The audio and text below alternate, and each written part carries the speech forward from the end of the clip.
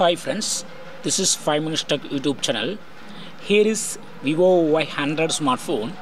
In this video, you will learn how you can turn off auto screen rotation in your phone Vivo Y100. First, open any app. Here I open Google Chrome. When I try to rotate my phone, what will happen? Screen is also rotated. Screen is rotated to landscape so in order to stop this rotation what you got to do is just go to the notification area and here click on auto rotate. And now auto rotate is turned off and go to the same app and try to rotate your phone try to rotate.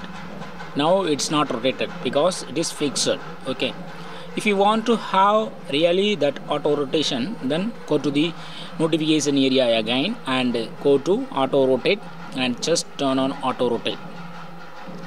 Now screen will be rotated. See here.